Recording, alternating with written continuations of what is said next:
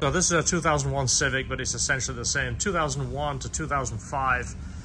We're going to show you how to change it over to electric power steering, which means we're going to get rid of the pump on all the lines and of course the drag on the motor, which is surprisingly high. Honda claims 3%.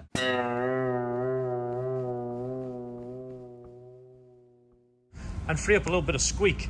So some of the parts you're going to need is obviously the complete electric power steering rack and any hardware that you can get off the same car. EP3 Again, 2001 to 2005, like the EP3 we did the K24 in. That's the stuff you're gonna need. Yeah, all the brackets are actually specific to the electric rack. So you're gonna have all your brackets come off that same car. You're gonna wanna pull as much as you can related to this. Obviously all the mounting hardware like this. And then this part right here is the electrical portion that's gonna go into the fuse box and that car has EPS marked. So that will fit in there. You can plug into it. So it's as close to factory install as possible. And you can get all this from a 2002 to 2005 Civic hatchback EP3 the SI or a 2003 to 2005 Honda Civic hybrid also has the same stuff. But you do need to make sure you get all your rack brackets off that car.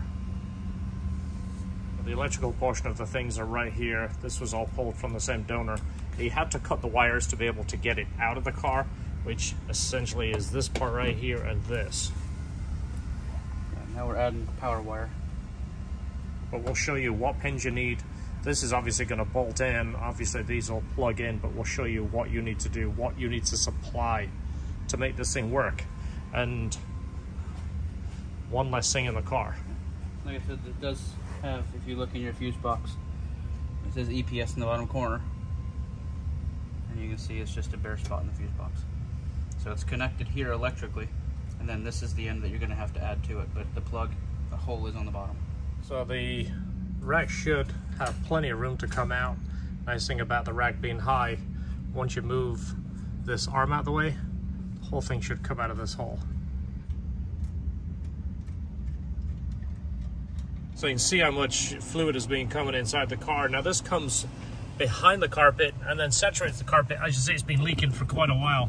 You can see on the firewall there where it's been leaking out the rack. It's been coming from here and leaking under the carpet, just making a big mess. See there, it's been leaking down the front side too. It's been making a lot of mess. This is the old wreck right here. And this is where it was leaking. It was all the way up this shaft here, but it was making a mess pretty much everywhere. So this is the electric motor off the power steering rack makes sense to remove that to install the rack. Makes it a little bit easier, a bit more room.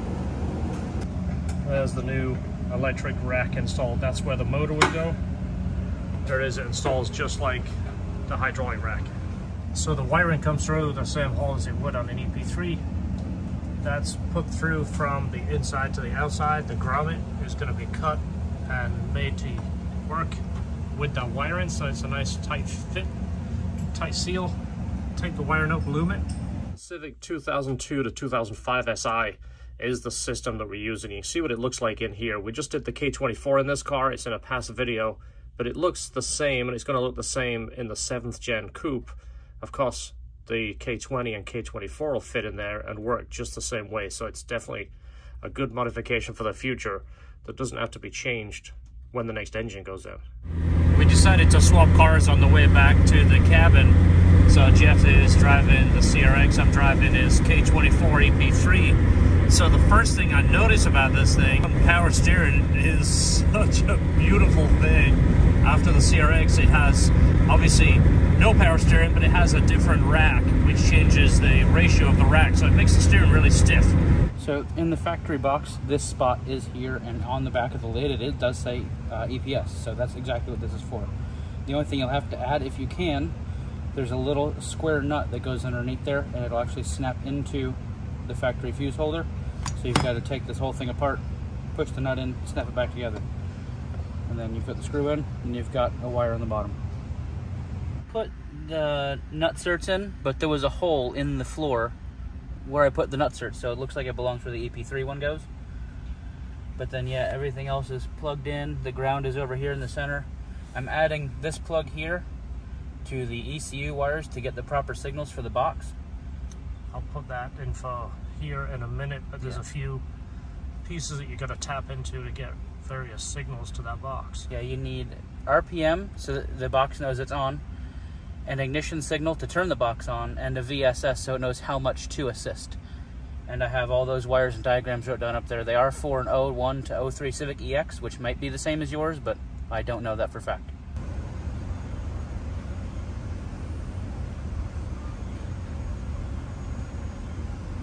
All right, is everything clear under here?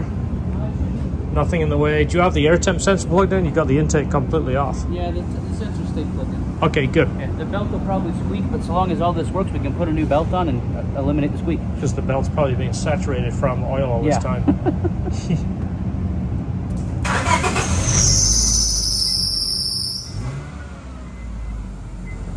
Look at that. That's Power steering. Yeah. Look at that. That's it. You're joining the EV nation. Yep. That is fantastic. So let's have a look, see how much cleaner it is. Like I said, the squeak is still coming from this belt getting saturated. But now no pump, no lines, no hydraulic fluid. Civic is just getting better and better. There it is, there's the electronic rack back there. All the wiring looks factory because it's pretty much in the factory spot, clips to the factory brackets. So hopefully that helps you. We'll do a little bit more update on this as it gets it put back together. But we'll put as much information in the description as possible.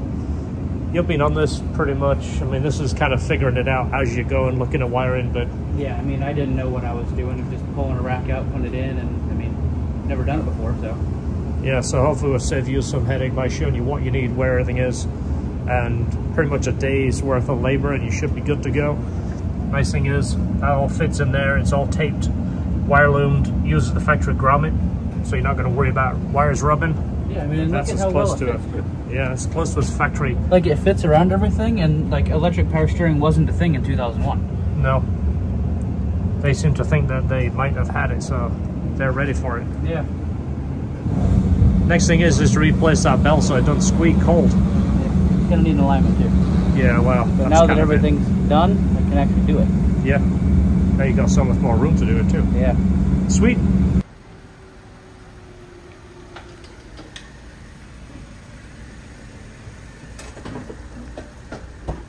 How is it? That's great. The maintenance required, I haven't reset. That's just because of the mileage. Look over to the mileage. The 284, 770. Look at that, 284, 284,000 miles. As soon as it hits 300, we're gonna get somebody to sponsor you with a K motor. The sooner the better. No, we're gonna hit 300. Yeah, I know. I'd like to. You gotta see the Magic 300. What else? What have you acquired?